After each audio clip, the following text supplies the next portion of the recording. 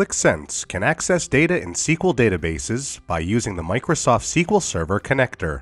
In this example, we will use Add Data, but you can also use the script editor using the same parameters.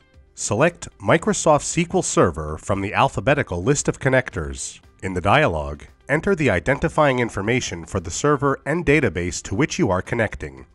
Enter the server name, port, and database name. Enter the username and password for the database. When you click Create, the connection is tested. If the connection is not successful, a test connection message will appear. Now select the database from the drop-down list and then select an owner of a set of tables in the database.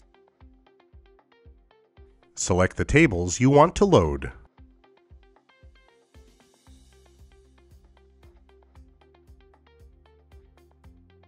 You can then select if you want to load all the fields or select only the ones you want to load. Click Add Data to add your data selections to your app. As you can see, tables are not automatically associated when you use data profiling. You must apply the recommended associations and verify that all associations are correct. Alternatively, you can create custom associations. When you've finished, you can load your data and start creating visualizations.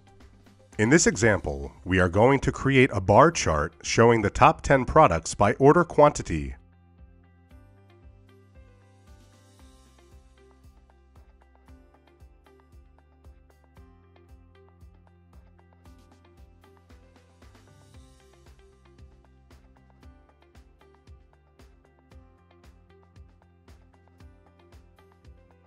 And then we add a KPI object showing the order quantity.